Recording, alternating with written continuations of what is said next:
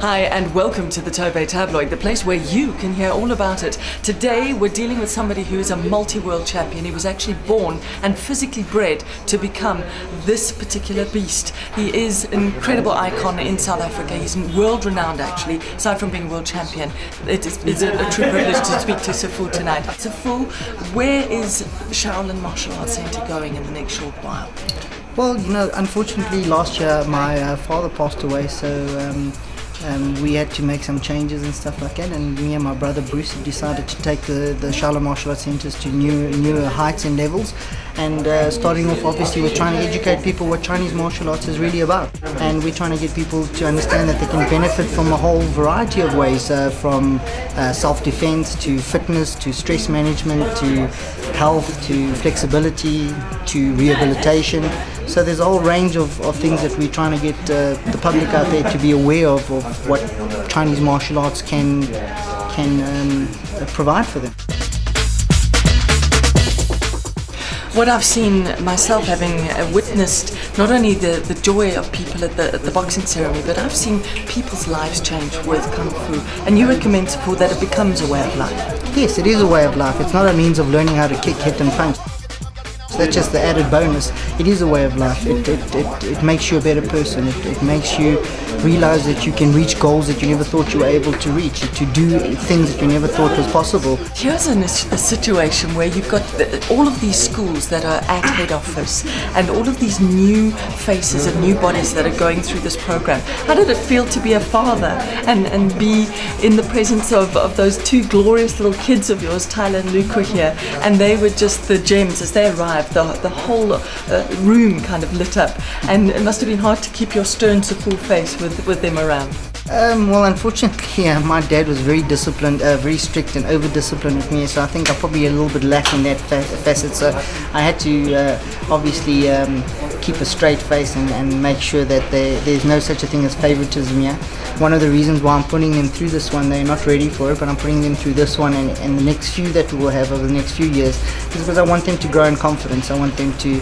to be confident to go up there and do things and um, and perform and um, and be good at it. You know so they're not forced to do it, but clearly, as you saw, they enjoy being here. Just on the subject of kids, there have been a, a, lot of young guys that have come through from Kung Fu and actually experienced the most remarkable transitions of How is it that you spot a person who is labelled a problem child and guide them around into the role of leadership and discipline? Well, I don't think I spot them. I think they're drawn to it. I think most of them crave that that discipline.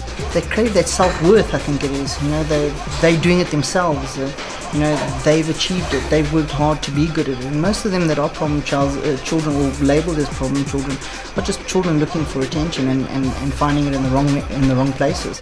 If they get guided into a way which is more constructive and more positive, you get remarkable results because they themselves enjoying seeing themselves improve. They don't. I don't think that any of them physically enjoy going backwards. I think they do enjoy going forwards. They do enjoy and take pride in, in, improving them themselves. You spoke about results during the boxing ceremony, and our final question today is taking guys that have never participated in any kind of championship and getting them to gold medal status.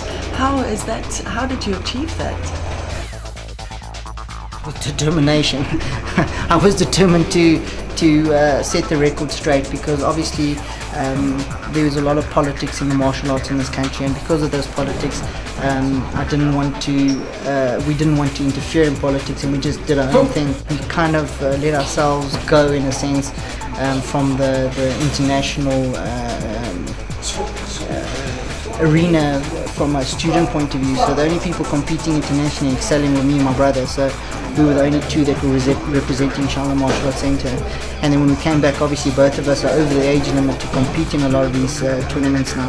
So we decided, no, to hell with it. We're gonna we're gonna put together a plan, and I, I know our system is strong enough to to to be better than most of the people out there. We've proven it. Myself and my brother have proven it.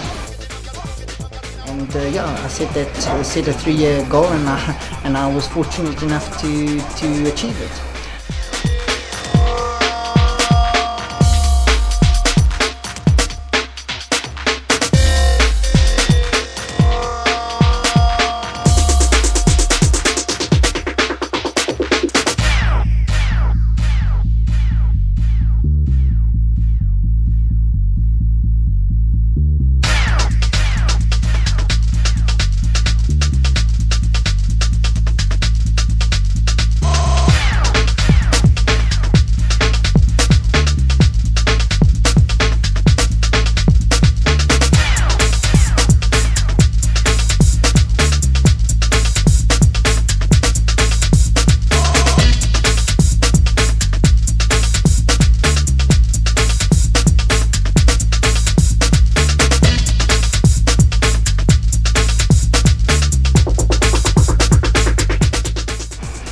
Wonderful. A privilege to talk to you tonight. Great, thank you Congratulations on a school that's just growing from strength to strength. Thank you very much. Thank you very much.